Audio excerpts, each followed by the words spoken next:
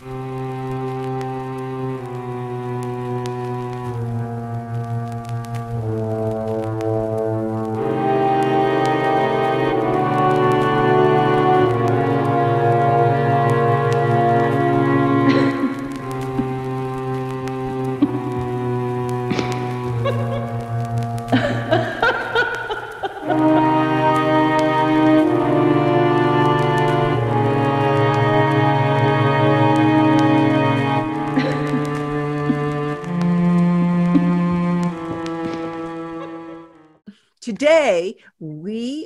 be talking about the red headed giants of the Lovelock Caves in the state of Nevada.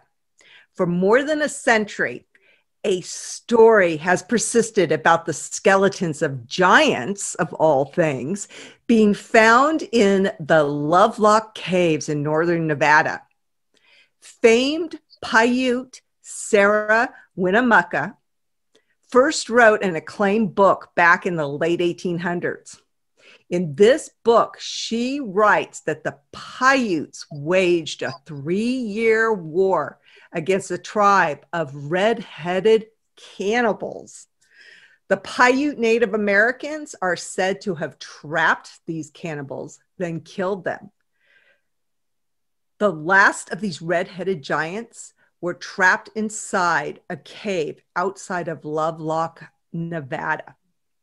To help us understand this legend of these caves, we will be talking with the YouTuber Burning Sands Exploration. Cindy is a Nevada local and knows a lot about these caves. Our guest, Burning Sands Exploration, has a wonderful YouTube channel. She and I have been friends for quite some time now. So I'm really excited to have her. What Cindy does is that she explores all sorts of things in northern Nevada. She explores everything from ghost towns, museums, abandoned places, and a whole lot more. And she has visited the Lovelock Caves numerous times and she actually doesn't live too far from these caves, so she gets to visit them quite a bit. She actually has a wonderful video up where she explores the caves, and I've put a link in the description of this episode to that video and her channel. So let's welcome Cindy to the Strange YouTube video show and podcasts. Welcome, Cindy. Well, hi, thank you for having me. It is so great having you. I can't believe it's taken us this long to get together and do this. Absolutely. this is so fun. Thank you. So, first off, tell us about your channel.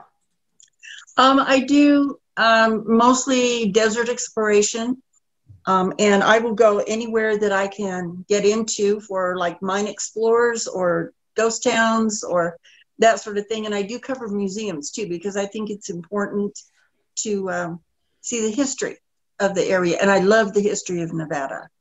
You know, when you go into these museums, it, it also gives you ideas of things that you didn't even know existed in your own area or around that area. I love going into museums. I get some of my best ideas in, in the museums.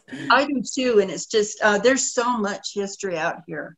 And it's just uh, absolutely fascinating to see what they went through and the tools that they used, and even the Native American exhibits are very fascinating. Yeah, you sent me some wonderful pictures of stuff that came out of those caves. And I would now I'm excited to stop at that museum on my way out to California. And that's the thing is that I actually traveled that road quite a bit to go out to California to see our oldest. And you know, you kind of zigzag across northern Nevada from Colorado to the Bay Area and the whole time you're like oh my gosh there's nothing out here. And That's you're true. like so bored. And then i met you.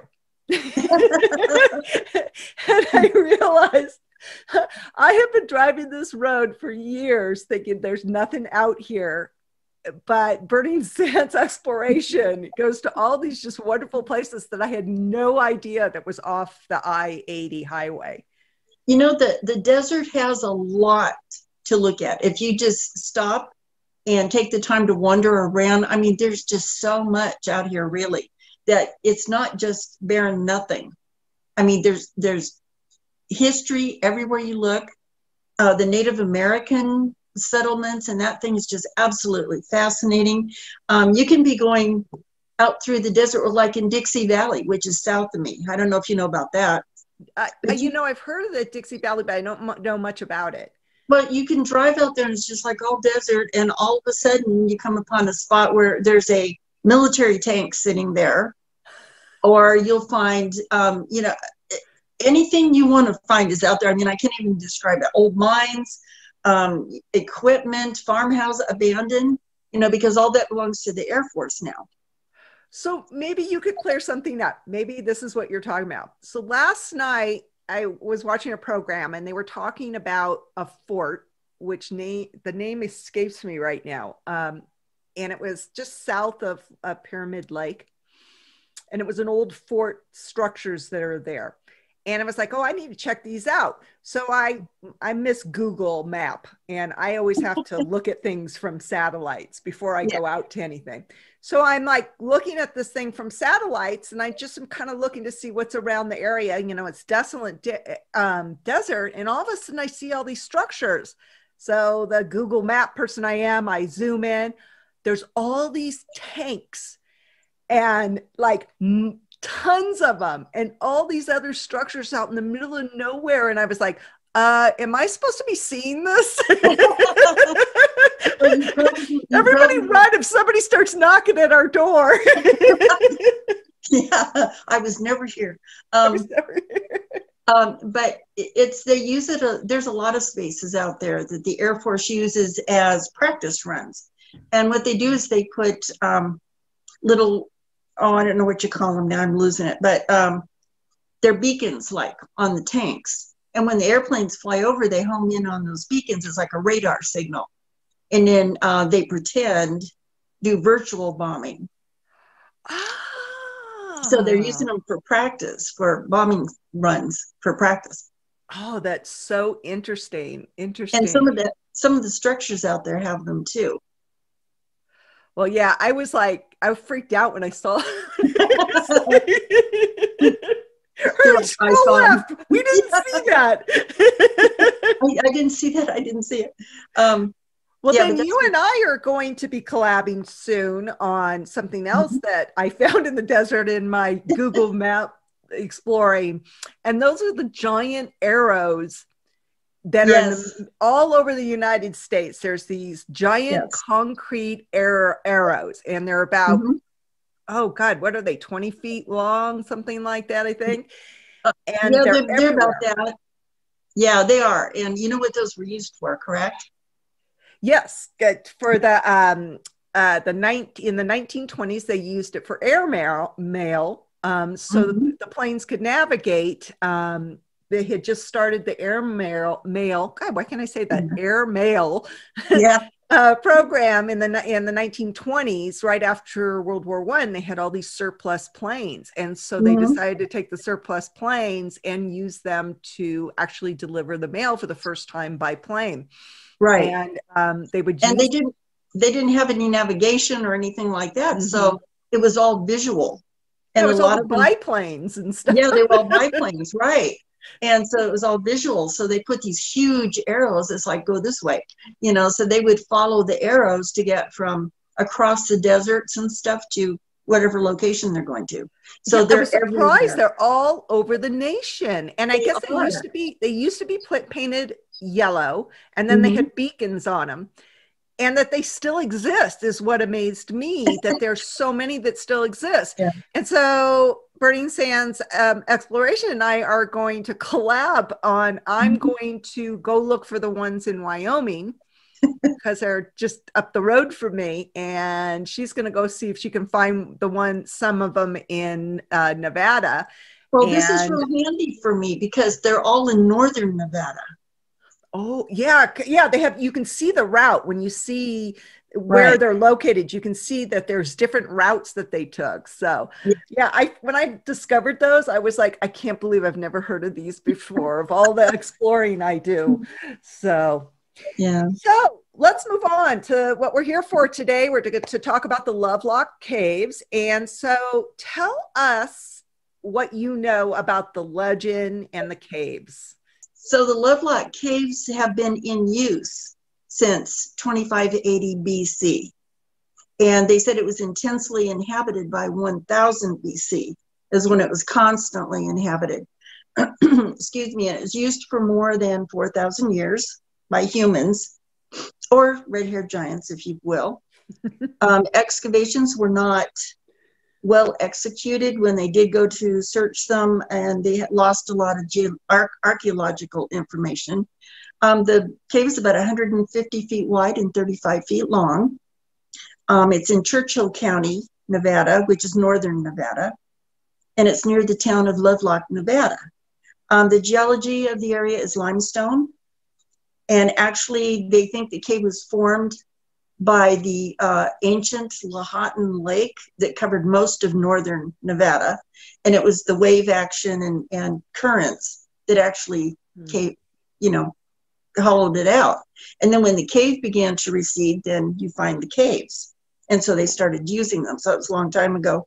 Um, they first discovered it in uh, 1911, and that's when two miners uh, were hired to uh, mine the bat guano, which was about six feet deep in that cave. And for those of you that don't know what bat guano is, it's bat poo poo. Yeah, it's it's bat guano.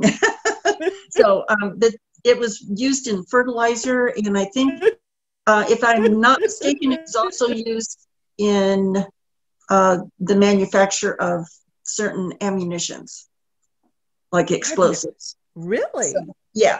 So that's what I was told. I don't know that for a fact, but that's what I was told. Um, so they removed about six feet deep in the entire cave, and it was about 250 tons of bat guano. So was a lot. so uh, they shipped it to a company in San Francisco, California, and they were aware, the miners were aware of the artifacts that were in there, but they had no interest in them because they were there to make money from the bat guano. So a lot of the um, artifacts were destroyed because of their mining operation. And what they would do is take the materials from the cave, take it outside, sift it, package it, whatever they do, you know, at the bat guano, and then they would just leave these hills of refuse. And there was lots and lots of broken material, you know, artifacts that's in there. That's the, a shame. Um, they, did, they, did, yeah, it is. It's a crime.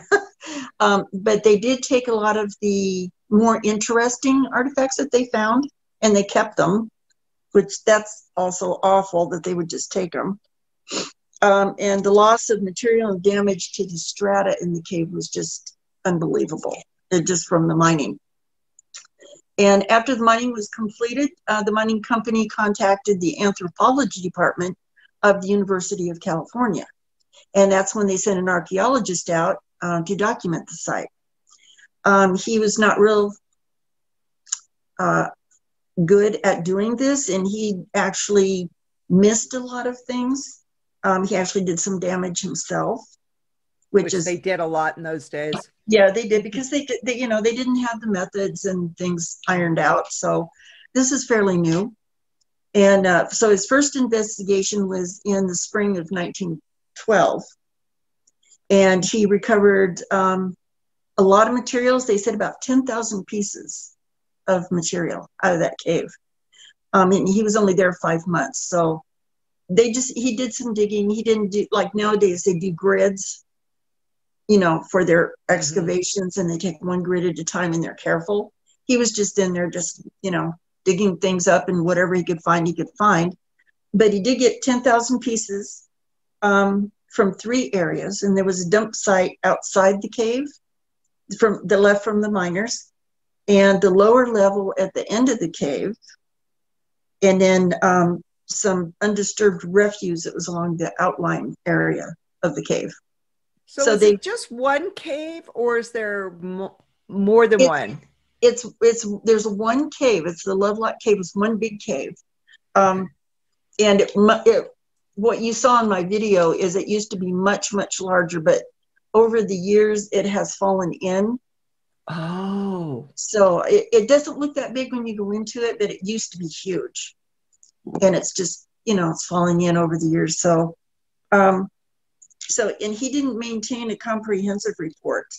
So there's no detailed, uh, I, I did read his report, report actually. Uh-huh. Uh, and he did, uh, it was very generic, you know, not like what you would expect from a professional archaeologist. Right. Um, but he did make some interesting finds. So um, he established uh, his records were ineffective, basically, because um, you know he just was not good at record keeping and his methods were flawed. And um, his later excavations, he returned in 1924, but he brought a more knowledgeable archaeologist with him, Mr. Harrington, and uh, some local Paiute Indians. Mm. And so they helped with the excavation, but they kind of knew what they were looking at, and the archaeologists weren't real sure because I mean this was like a new era, you know, new area for them. Right. Paiute Indians because of their legends, and, and they have some awesome legends, but um, they knew what they were looking at, so it was very helpful. And they found fragments and pieces, and the major discovery from the Lovelock Cave was a duck decoy cache that they found in the west end of the cave. And there were 11 um, duck decoys that they found. Eight of them were fully intact, and three of them were like unfinished. But they're just, it's amazing. They're made out of the reeds from the old lake, the Lake Lahontan that was there. Um, there used to be a swamp there. There used to be grasses, and, and you can see from my video, this is very barren now. I mean, Yeah. there's not even a tree. it's, it's just desert. But um, Well, At the years, you know, we're talking 10,000 years ago. Yeah. And plus, you know, glaciation came down that. Oh, I, I'm putting my geologist, my geophysicist hat on. the glaciers came down in that area, and when they re- receded, they left all these lakes, such as Salt Lake. That's what Salt Lake's Salt Lake came from in Utah. Same kind of same latitude. And it left all these lakes. So life there for the Paiutes was a lot different back then. You know, the hunting and the living and everything. It wasn't desert. I mean, it was actually a really nice place to live. it, it, was- it was very lush. It was a very lush area. You know, they they had like the ancient lake had. It was abundant with fish. Mhm. So a lot of they did a lot of fishing and they ate. Uh, I'm not sure exactly what grasses, but it said that they were eat. They ate some of the grasses that grew around the lake. You know, I think I read that too, and I, they're tule. They Tule, would eat, yes. yeah, they would eat the tule um, roots a lot, and they would use the reeds to make boats and other other things. Yeah, yeah, and they made sandals and boats and the duck decoys and uh, very useful, very useful material. So And now you have tumbleweeds instead. Now we have dry wind and tumbleweeds. Yeah, can't make much out of them. Um, but in uh, most of the material that they got out of there went to the Museum of American Indian in New York City, um, and also to um, a couple of other museums. Part of it went to UCLA, and then part of it went to uh, the Smithsonian. Mhm. And uh, the Museum of Natural History uh, sent someone out in 1936, but most of it had been picked over. Uh, so he didn't really have any materials to collect to take to that museum. Um, in 1949, Robert Heizer uh, was another archaeologist, and he came to collect organic material for carbon dating. And that's how they found out how old the cave was. Okay. Um, he did he did it again in 1950 and in 1965. So this cave really is not that. I mean, it was discovered in 1911, but it could be considered a fairly recent discovery because it really wasn't that long ago when you think about it in archaeology terms. right, um, right. And the Paiutes probably even knew it was there. Oh, And- well, it, it had been used since 2580 BC, so you know they knew it was there. Um, I heard from a Paiute gentleman that lives in Lovelock, Nevada, in the city, um, that one of his ancestors actually, well, you wouldn't, I guess it was his great grandfather, um, had actually told the miners made them aware of the cave back in the early 1800s. And that's why the miners went out there and started mining the guano. They didn't right. just happen on it. So the Paiutes told them it was there. So they were aware of it. They were very much aware of it. But uh, they found, oh, in 1965, I believe it was, uh, they found um, human remains. So in, in 65, the, they found the human re- remains, uh, not back in no the, the turn of no. the century. That it was re- more recent. Yeah, I thought it was later, or earlier, I should say. I thought it was earlier, but it actually turns out to be 1960s. Uh, Lewis Knapton in 1965 found human remains, and he was out there just uh, digging through what he could find, anything that was left. And uh, he did find some broken pottery, and um, the bones were broken and scattered. Uh, and there was a large area of it. So that could be evidence of the cannibalism, you know, because the bones are broken. And they, right. some of them showed cutting marks on them. Oh, they um, did? Um, yeah. So um, that would be what they would consider evidence of some cannibalism going on, whether you want to believe they were the redhead giants or not. Right. But it, it kind of backs up what the Indians, the story they were telling. Exactly. You know, and and to be honest with you, a lot of people don't realize it, it's not uncommon to find cannibalism, whether it be Native Americans or even the, you know, the pilgrims, even yeah. they have found signs that they had a bad winter and they were trapped in their fort because the Native Americans were surrounding the fort and that they started cannibalism, even the yeah. pilgrims. And they found, they've discovered it in Chaco Canyon um, mm-hmm. in New Mexico, um, you know, which are the ancients, they call the ancients um, mm-hmm. Native Americans of America. They have discovered cannibalism there too. Right. So it's it's not an unusual practice way back then because mm-hmm. um, if you know, it's amazing what people do if you're starving, you know. Yes. Um, but the Paiutes were claiming that the red-haired giants were actually attacking them and chasing them down and killing them and then eating them. Um, so they they couldn't really put too much of the bones together. It was like really broken and scattered, but it was evidence of cannibalism. Um, they established that some of the occupants' diet uh, in the cave was birds, fish, and you know, of course, the uh, plants around. Um, and they even found a prehistoric sling, you know, that they would use to throw rocks, like slingshot. Right. Um, to use, they they said it could have been used for toys, games, or hunting, or even in battle. Because uh, you know, it's prehistoric times. You're going to use what you have. um, but um, they said that the slings were made from plant fiber, and they found traps and nets and baskets, which is part of. Uh, they have them in the museum at Winnemucca. Winnemucca Museum has a very small display, but it's very interesting what they have. And so what uh, they what they have in that museum was from this cave or from other caves? Because I know there's many other caves.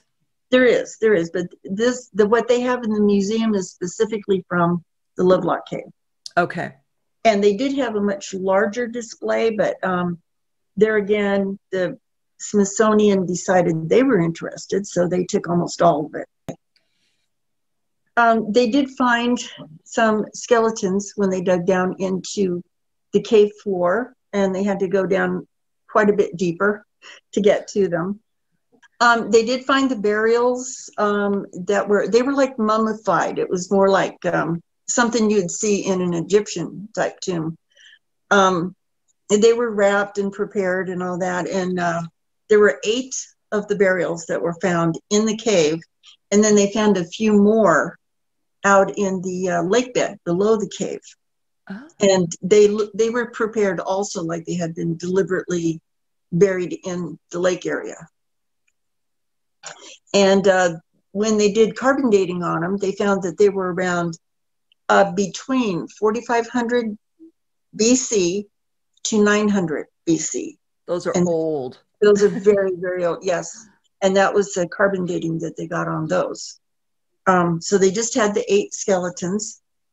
Um, and they, you could go to Winnemucca, to the Humboldt Museum in Winnemucca, and see the, um, they had the skulls. They didn't have complete skeleton because they were uh, carted off to museums. But, uh, and there again, the Smithsonian took a lot of it. And, uh, but the skulls, they, I think they had three, three of the big skulls. And they, they would put the jawbone of a normal person would fit inside the jawbone of the giant uh-huh. skull. And it was quite a quite a difference. It was quite a difference in size. And you could actually go there and see them. And um, i don't know if you're familiar with ancient aliens program uh-huh. but david childress on that program um, had actually gone out there in the 70s and had done a, an actual tv made for tv video of the bones that were found. And he stood next to them, he touched them, um, right. they measured them, the, you know, the whole thing. So, and then they advertised that if you wanted to see the bones, um, to ask the museum director, and they would take you downstairs in the basement, and you could actually view the bones yourself. Uh huh. So, and it's still on their website, by the way, uh, for the museum. And so I went to the museum shortly after I moved here and I said, I would like to see the bones.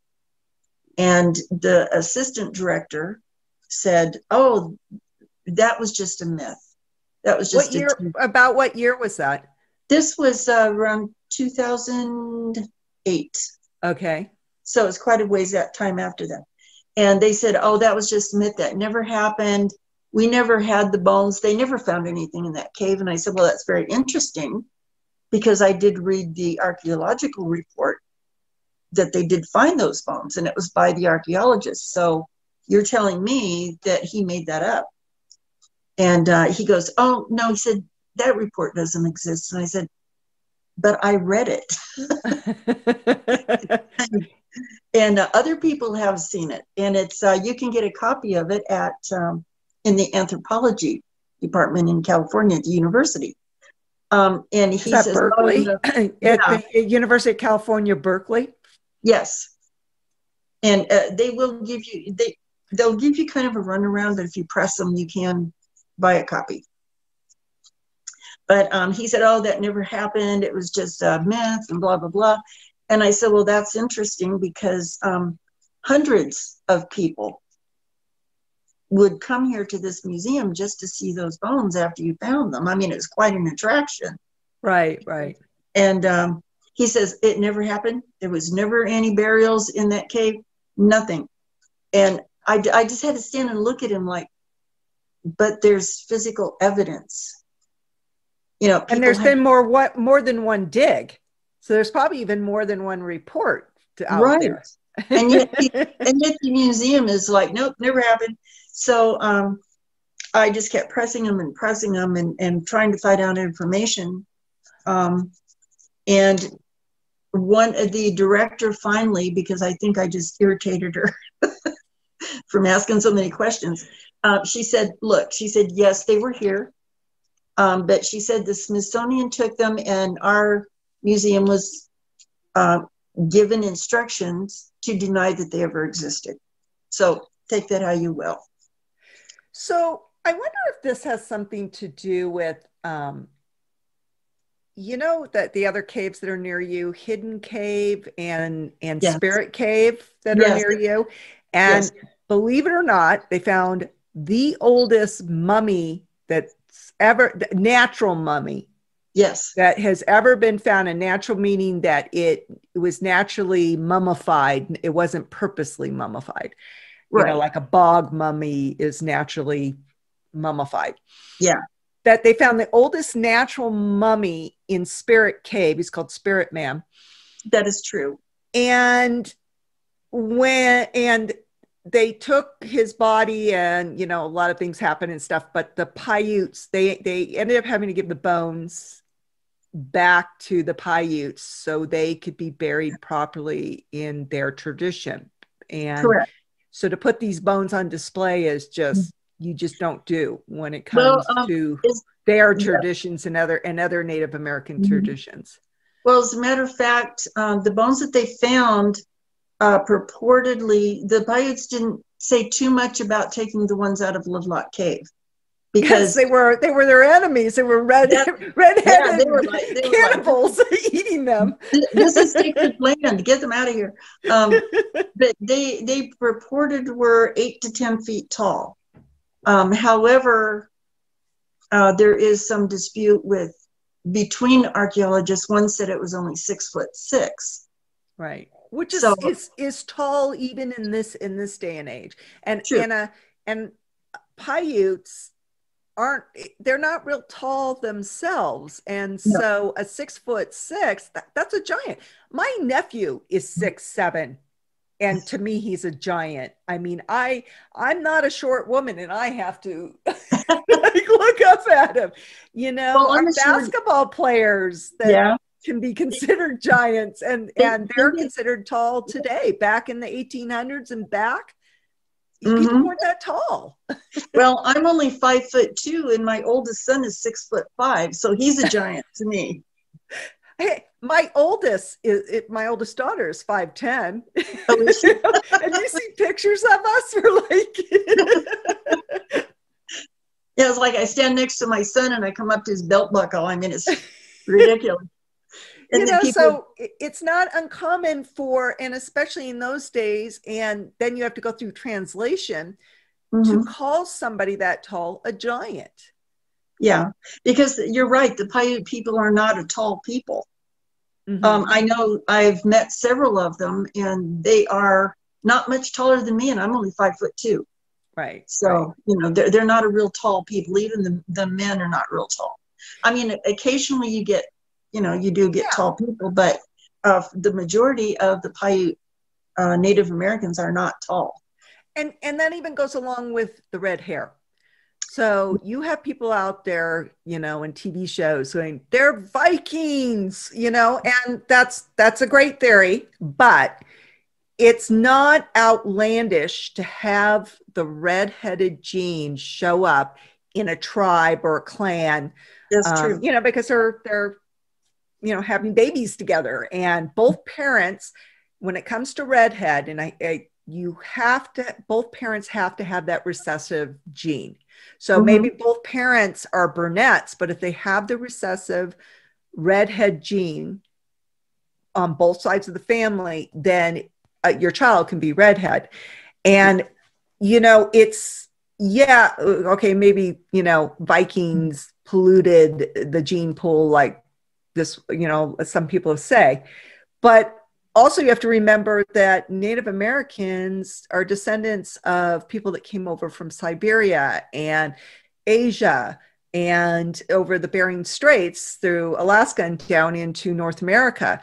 And they most likely brought that gene with them. So to have mm-hmm. that recessive gene in a clan, it, it's not that bizarre for it to show up. There are exactly. red-headed Native Americans. There's red-headed Asians. Yes. There's red-headed, you know, the Siberian tribes in Russia, and so it's it's not that outlandish to hear that there a tribe had red hair. no, it's it's not. No, it isn't that un, unbelievable. No, um, but uh, not all the tribes though were cannibals yeah exactly exactly you know well but, i mean yeah, look at the look at the mayan people and the aztecs mm-hmm. they were very very violent people yes. and they were killing their own left and right in the name of their gods and mm-hmm. so you know it's to me it's not that outlandish that you know that you have the have a violent tribe or clan out there there's that's you know yeah, that's not outlandish at all, especially during um, the ancient time periods, because I mean, uh, it's not acceptable to us now, but there are tribes even in other countries, like in Africa, for example, um, that still practice cannibalism. I mean, and mm-hmm. even, you know, so it's not really um, an out outlandish practice for humans to do that. It does happen. Yeah, it does happen, definitely. But um, Spirit Cave is one that I want to go to real soon. But um, a lot of the things that they took from Spirit Cave and um, Elephant Mountain Cave is in Black Rock Desert. Oh, I haven't heard is, that one. Yeah, Elephant Mountain Cave. Um, it's uh, not too far from the uh, Burning Man area where they do the Burning Man thing every year. Mm-hmm. Um, unfortunately, a lot of the Burning Man people have visited that cave over the years, and, and uh, it's been pretty. If there was any artifacts in it, they've been destroyed or taken. That's a shame. It is. It is a real shame. But the well, didn't that land before Burning Man took it over? Wasn't it a private ranch? It was. Yes. Yeah. And then now it's, it belongs to the Bureau of Land Management. Mm.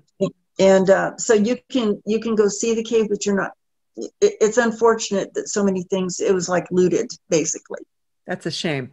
It is. It is. It is a real shame. And Spirit Cave um, is 13 miles east of the city of Fallon in northern Nevada. And that one was discovered in 1940. And uh, it's it's a very special cave to the Indians, the Paiute Indians. Um, it's a very spiritual place, um, hence Spirit Cave. um, but but the things that they took out of there in Hidden Cave also is over close to there um, and it has petroglyphs and stuff. But uh, those two caves are very special to the Native Americans, um, and like you said, the the the uh, remains that they did take out of Spirit Cave, they did give back to the people, to the Native Americans, because it was of spiritual significance to them. Right. Oh, and well, that reminds me when you brought that up. We were talking about the museum and, and we went off to the Spirit Cave tangent. And the reason I had brought it up was that I was watching a video by one of my favorite YouTubers and TED talkers, um, Ask a Mortician. If you've oh, never, oh, I've seen that. I, I love her. and she did a whole video on the oldest mummy in the world. And um, she talks about she's she you know she talks about you know all the different mummies you would think that it's egypt you would think it's south america but no it's in nevada you know in a cave in nevada yeah. but the reason i brought her up is that she spoke to a paiute elder about this cave because she was trying to gather information because she was having a hard time getting information about it. And she basically said without saying it that i'm not supposed to really talk much about it. Like after talking to this elder that she had to be closed mouth and that she really couldn't get much information from him because they don't really want you talking about these burials or you know or any of this. And maybe that's what's happening at the winnemucca museum. Maybe they've been told that you you need to be hush hush. This is our tribe and and we don't want you talking about it. So maybe maybe it's not yeah. coming from the federal government that it's actually coming from the tribe that you need to you need to be quiet about this. It's well, disrespectful I, or something. I i know that uh, things that don't fit the scientific purview mm-hmm. um, of evolution of man mm-hmm. um, then they tend to hide it because they don't really want to rock the boat um, and the uh, it's called the Valley of the Giants in West Virginia. Mm-hmm. Um, they reco- I don't know if you're familiar with that, but they mm-hmm. recovered a lot of bones of seven foot tall, eight foot tall in these burial mounds. And um, the Smithsonian took them, and back in the uh, early 20s is when they found those, and, and they took them and put them on display. And there's actually pictures of people that they stood this, you know, they stood them up and people would go in and take their pictures next to these giant bones. It was sort of a tourist attraction. And then uh, in the late 20s, um, suddenly all that was just stopped and there's denial that they existed. So they want to put it off as a myth that I don't understand why. Because, I mean, if that's a part of the history, if that's a part of human history and those people existed, I don't see what it, what difference it makes if you acknowledge them. Right, right. But they don't. They they will not. And I, I don't understand the secrecy behind it because it's I mean it's a part of history. It's not that big of a deal. And too many people have seen them. Um, there's people came up with pictures, you know, from their grandpas and their great grandpas. You know, oh, mm-hmm. oh yeah, look, he was at the museum and he stood next to the skeleton, or you know. Right. So there's right. evidence out there. I just don't. I don't know why, but yeah, but, and it's just and it keeps becoming a, you know, it's and we were you know talking about well, it's not abnormal to have a six seven or even a seven foot tall man. Uh, you know, it no. happens. Um, but I think, excuse the pun, the tail keeps getting taller. well, that's why. That's why when I was um, talking about the tail in the cave, I would say, um, depending on who you ask, mm-hmm. because it's well, you played that game telephone, and you have a line of people. You start something. By the time it gets to the end of the line, it's gotten really exaggerated. Right, right, and, and that's the way legends go. You know that happens too. Well, this legend started with uh, Princess Sarah. Sarah Winnemucca. Winnemucca yeah. in her writings. Um, and by the way, we didn't bring up that they called these cannibals uh, sate, Satika. Satika. Satika. Um, I actually have, you can actually get a copy of her book, and mm-hmm. the book is called um, Life Amongst the Paiutes. And I'll put a yeah. link to that public domain book down in the description of this episode. Um, mm-hmm. But there, she, I have it up on my screen here, and let me see. Um, I have, I actually went into the book and did a digital search on where she talks about giants or cannibals or anything, and she sure the heck does. Yeah, and, she does. And it's like in the one I have in front of me, it says, Our children are very careful, carefully taught to be good. Their parents tell them stories, traditions of old times, even the first mother of the human race, and love stories and stories of giants and mm-hmm. fables. So yes. she's basically saying this in this sentence that you know they had stories of giants in the Paiute um, legends, but mm-hmm. that they were, you know, part of these stories. Um, and then it goes on to say, you know, she it's very interesting. Some of the things are a little hard to read. Um, she did t- so in the last paragraph of chapter four is the paragraph that really Brent talks about the cannibals. Um, and she basically says in this, she says, amongst the traditions of our people is one of a small tribe of barbarians who used to live along the Humboldt River. Is the Humboldt River still there? It is. It is. It was many hundreds of years ago. So, so she lived in the late 1800s. So she's mm-hmm. saying it was many hundreds of years ago at that time. Yeah. Um, they used to waylay my people and kill, kill and eat them. She mm-hmm. says that right in her book. So this yes. is what this is what started this whole thing is this book. Because this mm-hmm. was written in the late 1800s and then they found the cave in the early 1900s. Well, it was, um, it was 1850 when it was very first seen and then they didn't uh, the miners didn't start mining it until 1911 1911 okay. And then she goes on to say they would dig large holes in our trails at night. And if any of our people traveled at night which they did for they were afraid of those barbaric people they would oftentimes fall in these holes. That tribes would even eat their own dead Yes, she says. they would even come and dig up our dead after they were buried and would carry them off and eat them. This is straight out of her book. Yeah. Now and then they would come and make war on my people. They would fight, and as as they killed one another on each side, the women would carry off those who were killed. Many people say they were very brave. When they were fighting, they would jump up in the air after the arrows that went over their heads. So she's basically saying they were so tall they could grab the arrows out of the air um, and shoot them back at, at back at my people.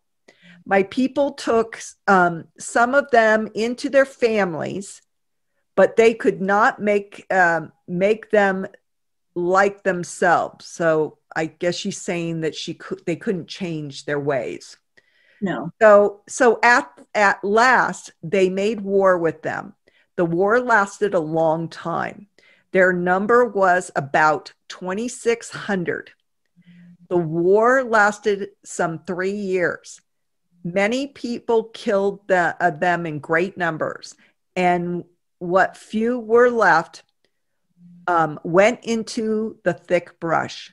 My people set the uh, the hush on fire, uh, whatever a hush is. um, the um, this was right above Humboldt Lake, which is the the caves. Right, the mm-hmm. caves are right above Humboldt Lake. Then they went to work and made tule or blush rush boats um, and went into the lake, into Humboldt Lake. They could not live there very long without fire. They were nearly starving. My people were watching them all, um, all around the lake and would kill them as fast as they would come onto land. yeah. At last, one night, they all landed on the east side of the lake, which is the side of the, is that the side where the cave is? Yes, yes. And went into a cave near the mountain. It was a most horrible place, for my people watched at the mouth of the cave and would kill them as they came, came out for water. Mm-hmm. Um, and then she goes on and on with the story of basically they started a fire in the mouth of the cave and killed them. They suffocated the, the giants, redheaded giants, suffocated in the cave um, the what was left of them after right. this war. I mean, that's a pretty detailed, and it's there's like two more paragraphs, and and that's a pretty detailed story to you know yeah to, for it not to be true and there's nothing about that story that's outrageous to me no no not for the time and the period setting it is an outrageous and uh, you can still see evidence well in my video i showed the rock right above the entrance is black from fire. So it is black. I was going to ask you about that. Yeah. The black on the rocks are from fire damage. So it, there's evidence that there was a fire built right in the mouth of that cave at some point. Wow. Wow. So it's, it's actually, you know, and um, the Ind- even the Paiute Indians today, if you talk to them, and I have talked to some of them about this legend, and they wholeheartedly believe it as absolute truth so they still they still i mean they they're still passing it down and that yes. this is uh, true as wow. part of their history yeah so if you wanted to go out to the caves when i was um, looking at an out on a map it's only about 30 minutes out of the town of lovelock it doesn't seem like it's that far out it's about an hour and a half from my house but it is about 30 minutes from lovelock um, and it's just it's pretty flat. I mean, you don't have to go up any mountains or anything. It's a pretty easy drive to and from Lovelock. And it's dirt uh, uh, most of the way. It's it it's dirt all dirt, and it's uh, not well maintained. It's um it's a pretty bumpy ride uh, most of the time to get out there. And if it rains, forget it because the desert turns to quicksand. okay, okay, but on nor on normal days you can get out there with oh, yeah. a non four by four i would i would recommend a truck because there are ruts in the road that uh, if you have a low sitting car you know it probably wouldn't be recommended but you can drive out there in a car and there's two ways to get there there's the one out from lovelock uh-huh. and then uh, on highway 50 just south of fallon um, there's another dirt road that goes straight to it as well Okay. Okay. Which way do you recommend? I mean, what's the better way to go? Coming from Lovelock or? Um, I think the road from Lovelock is is better. I think that's way. a better way to go. Yeah. Yeah. If you come up the other way, it's probably a little shorter of a drive, but it turns out to be a longer drive, if you know what I mean, because of Mhm. the condition of the road. Right. So, is there a time of year that you recommend going?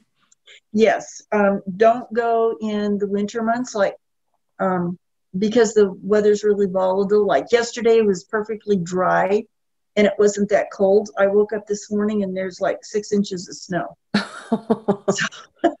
but you don't expect in the in the desert. Yeah, a lot of people don't realize it does snow in northern Nevada. I've Well, it's I haven't been able to fly into Reno at times. There was so much Yeah. snow. well, it is de- it is desert, but we're at a higher elevation, so they call it a high desert. Right. and and we do get snow um not like some places you know not constant but um i mean but there have been a couple of years where we did get like a tremendous amount of snow Right. So not winter, so fall And- and spring.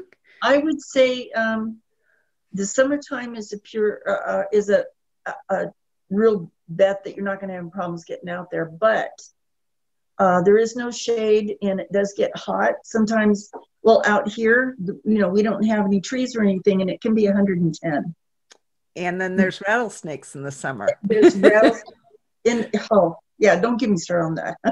they're, they're my nemesis. Um, on my property, every year I kill rattlesnakes. You know, and, and I know some people are going to be offended, like don't kill them, but those things are deadly. Yes. And I have grandchildren visiting, and they run around and no. Um, the Yeah. good snakes I leave, but the rattlesnakes have to go, and they're and they're in abundance out here. So, and when you, if you go to the cave in the summertime, just be very aware. Um, any cracks or holes that you walk by, just you know, make sure you're cautious. what about bobcats or mountain lions? Do you have to worry about that? Um, we do have bobcats, mountain lions. Um, the bobcats you'll see down here in the valley where I'm at. Um, you don't see, and you see a lot of the antelope.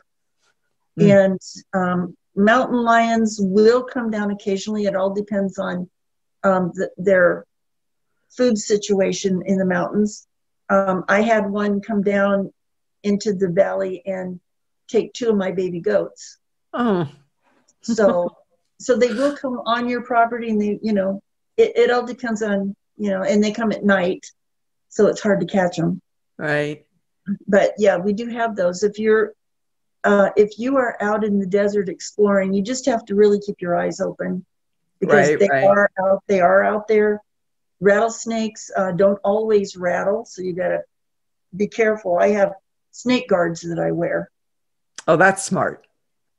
Well, Cindy, this has been so interesting. I just, I cannot wait to come out and actually see the caves for myself. I just, I know that, you know, Hidden Cave, that you can actually set up a tour to get a Hidden Yes. Cave. Um, yeah, Spirit Cave- Cave, I, I heard was blocked off though, that you couldn't get to it because it's sacred. Yeah, and Hidden Cave is also another sacred cave, but you can take tours. But um, they've got it gated off pretty heavily so that uh, somebody, uh, you have to get a guide from the Fallon Museum to and set up an appointment for them to take you to the Hidden Cave. Okay. Otherwise, you couldn't get in. Okay. And for those of you who are not familiar with the area, Fallon is a town just east of Reno. Mhm. Um, so if you were to come out in this area and fly in, you'd fly into Reno. Now, Lovelock Caves you can go to, and you can drive out there yourself, and Yes. they you you can hike up there the short hike, short steep hike. Um, steep. and there's panels explaining everything up there, and so you can actually go and visit the caves and go inside the caves, um, Yes. and they have explanation of the story we've told and and the legend and the whole bit. Um, but the view looks spectacular. it's, it's gorgeous. It's I I love you know a lot of people say oh the desert is just nothing, but I think it's beautiful. Yeah, it just looks everything I've seen of it looks spectacular and it looks I down on this Humboldt Lake we've been talking about, um, or the dry lake bed. Yeah, it used to be. Um, They call it the Humboldt Sink now.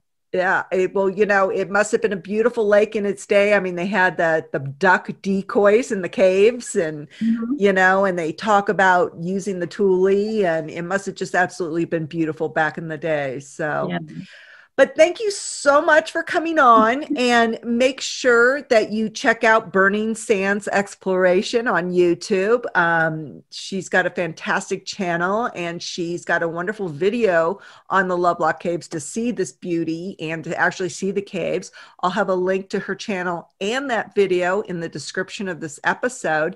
And Cindy, thank you so much for coming on. I really appreciate it. Well, thank you. I appreciate you having me on. This was really fun. Thank you we will definitely do it again and one day we'll get to meet in person. Yes that would be nice. Oh.